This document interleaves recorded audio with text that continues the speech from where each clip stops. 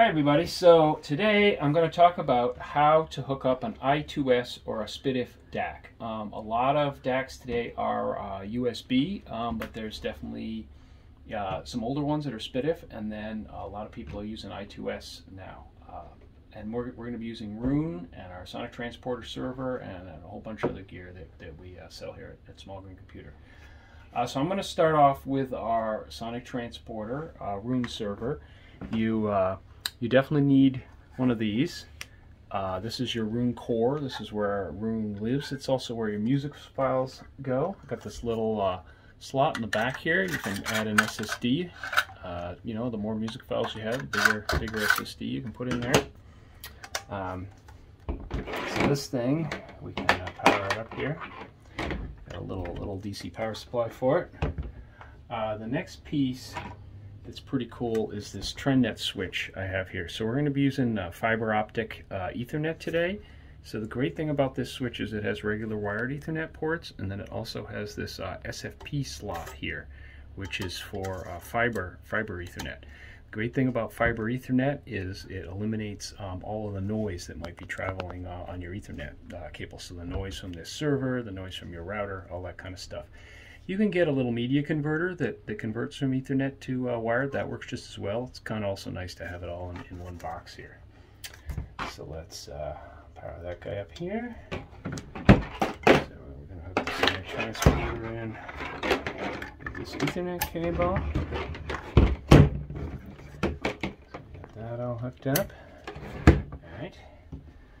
Um, so the next piece we have here is our optical Rendu. So this is a Roon ready uh, player. So it goes from Ethernet, in this case optical Ethernet, to uh, USB. So if you had a USB DAC, you can set this on top. It Shows up in Roon as a Roon ready player, and you can uh, play to it. So I got this nice optical fiber here. Plug that in the switch here. And then I have this nice little uh, small green computer linear power supply, really low noise. That's very important. This is the player. It connects directly to your DAC, so you don't want to, you know, you don't want to get noise from your power supply. Put that up. A little cable here. Here. Plug that in. So now, if we were using a USB DAC, this is where it would end. I would just plug it uh, right in there. I could play to it.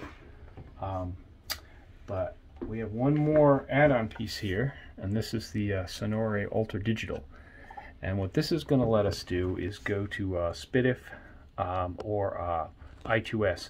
In this case, the I2S is the LVDS. It's what a lot of you might know as an HDMI uh, connector. There are a couple of different ways to wire uh, I2S, but this uh, this LVDS connector is the most common, so that's that's what we have.